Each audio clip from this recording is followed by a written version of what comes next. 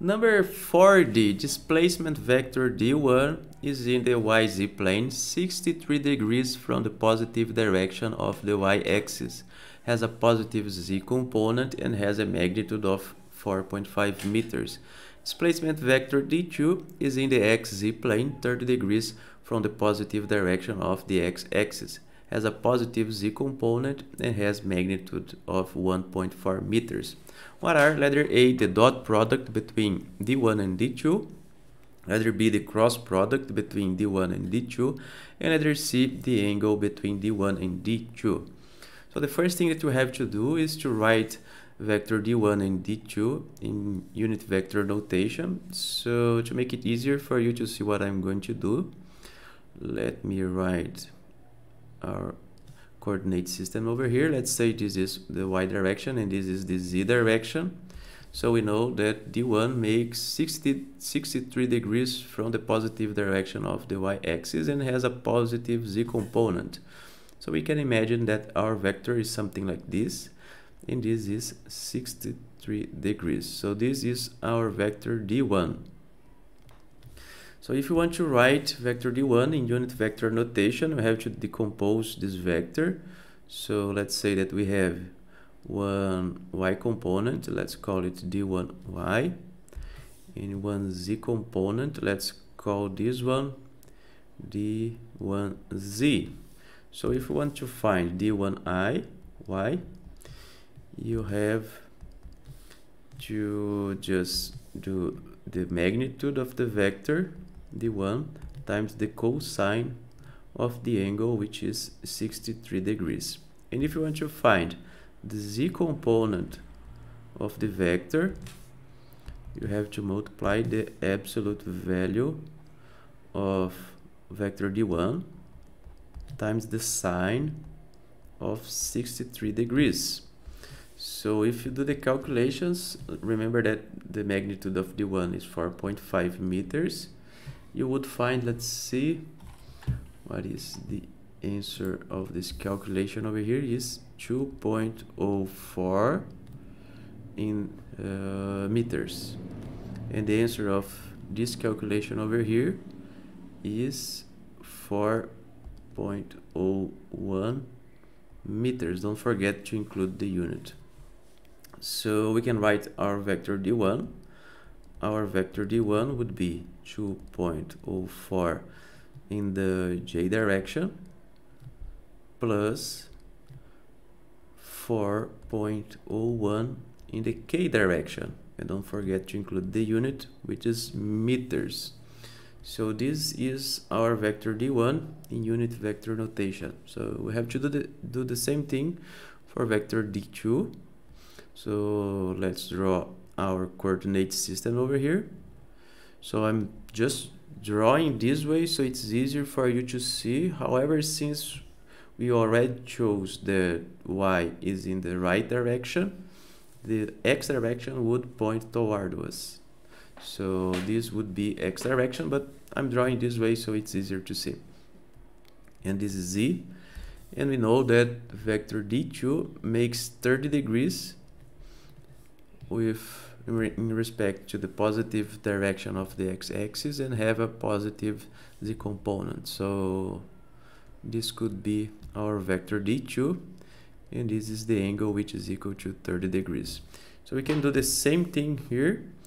So d2x would be equal to the magnitude of vector d2 multiplied by the cosine of 30 degrees and the z component d2z would be equal to the magnitude of the vector d2 multiplied by the sine of 30 degrees. So if you do the calculation, you would find that d2x is equal to 1.21 meters and d2z is equal to 0.7 meters. So our vector d2 in unit vector notation is equal to 1.21 in the i direction plus 0.7 in the k direction don't forget to, to include the unit which is meters Okay, so now we can do letter A, B, and C.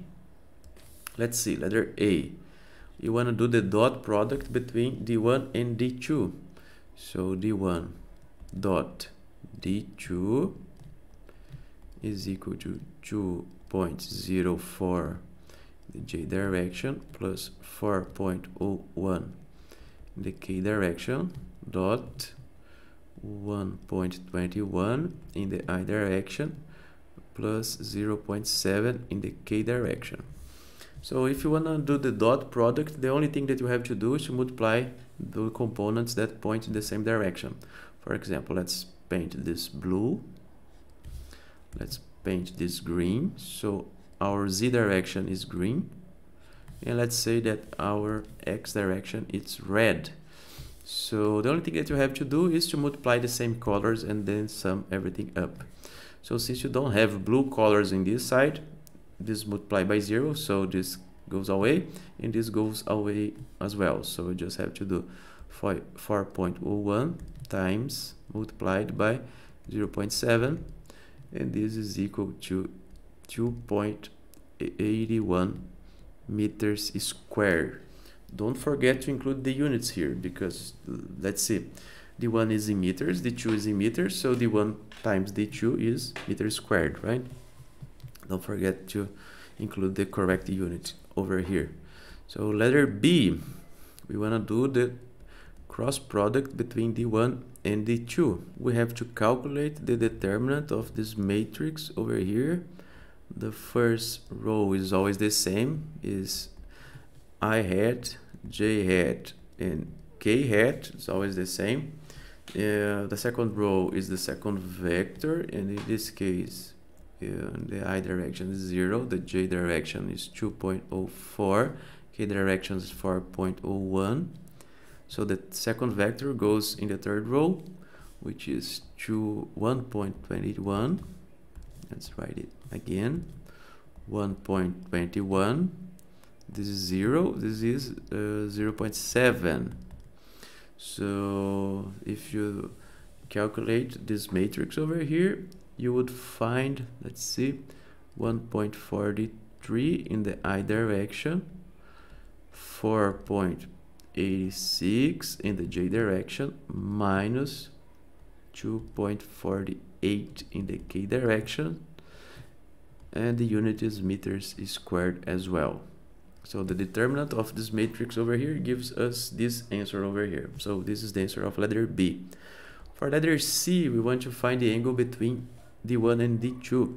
Remember that when you do the dot product between two vectors, this is the same as the magnitude of the first vector times the magnitude of the second vector times the cosine of the angle between them. So if we want to find the angle between them, so let's do it in more steps. So if we want to find the angle between them you just have to isolate the angle. So this is a dot b. This is the magnitude of vector a magnitude of vector b so you have to isolate this angle so this angle is the inverse function of cosine or r arc cosine of a b over the magnitude of a times the magnitude of B.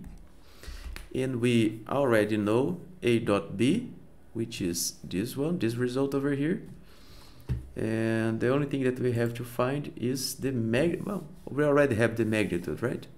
We have the magnitude of vector A and vector B over here. So this is just the inverse function of the cosine of 2.81 over 4.5 times 1.4 and this gives us 63.5 degrees so this is the answer of letter C